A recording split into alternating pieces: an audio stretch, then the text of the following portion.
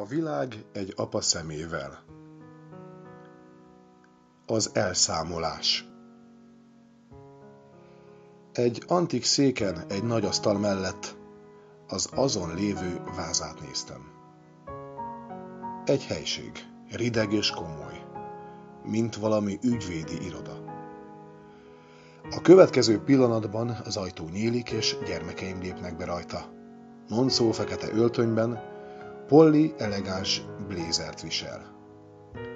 A fiam arcvonásai egyértelműen az enyémek, míg Polett barna haja és szemei az édesanyját idézi. A nagy asztal túlsó oldalára ülnek le egymás mellé, velem szemben. Kissé fészkelődni kezdek, mert nem nagyon tudom, mi ez az egész. Miért hívtak ide? Miért kellett egyáltalán kiöltöznem? Aztán Noncó kezeit összekulcsolva leteszi az asztalra. Bal kezén a ballagására kapott régi órámat visel, amit nagyon-nagyon szeret. Apa, beszélnünk kell, szólal meg a tőle szokatlan komolysággal. Mindketten felnőttünk, Polly és én is. Eljött az idő, hogy Összegezzük az eddigi munkádat, mondta, majd Polly biztató tekintetét keresve ránéz. Munkámat? kérdeztem megszeppenve.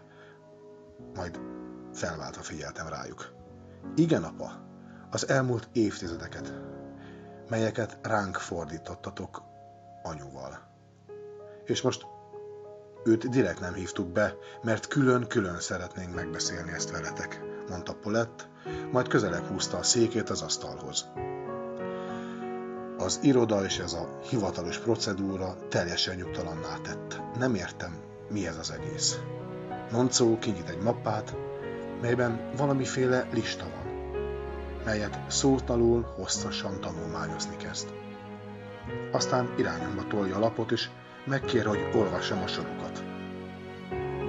A felsorolást olvasva csupán minden harmadikat kezdek hangosan olvasni. Kis faház, homokozó. Hinta építése, balatoni nyaralás, kismotor vásárlása. A lista felsorolásának hosszasága miatt nem folytatom. Mi ez az egész? Tényleg felírtátok az összes dolgot, amit tőlem meg anyátoktól kaptatok? Kérdezem ingerülten. Olvasd a, a lista végét, szólal meg Poli, majd több oldalt lapozni kezd. A lapok utolsó oldalán a következők szerepelnek.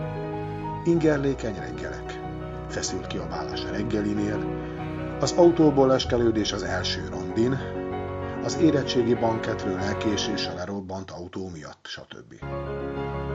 Most szememre hányátok a régi dolgokat is? Kérdeztem, majd a zsebembe lévő telefont vettem elő, melynek hátterét az unokáim képei díszítettek. Mi csupán leírtunk mindent, hogy teljesen objektíven lássuk a dolgokat, reflektált Noel, majd a mappát visszahúzva folytatta. Azt hiszem, olyan szülőket kaptunk az élettől, amilyeneket szerettünk volna. Tudjuk jól, hogy neked kimaradt az életből az optimális családmodell de sosem tapasztalhattad meg igazán, milyen az szerető anyai ölelés. Nem tudhattad magad mögött az apai védelem fogalmát. Mindezek ellenére mindent megtettél, hogy a lehető legjobb apa legyél. Nekünk. Mindent megtettél, hogy az életünk jó irányba menjen. És azt is tudja, hogy legjobb nagyapaként a legfontosabb tisztesség számodra még mindig ez. Mi csupán tettük a dolgokat anyátokkal együtt. Nem volt más opció, szólaltam. Tudjuk, mondta Polly. De szeretnénk egy picit meghálálni mindazt a jót, amit kaptunk tőletek. Noel az asztaltól felállva az iroda egy szekrény ajtaját kinyitja, majd benyúl egy dobozért. Az asztalra téve felém tolja azt. Na, nyisd ki, apánk, mondták egyszerre. A kezem apró remegését palástolva a doboz tetejét gyorsan levettem, majd belenéztem. A dobozban semmi nem volt.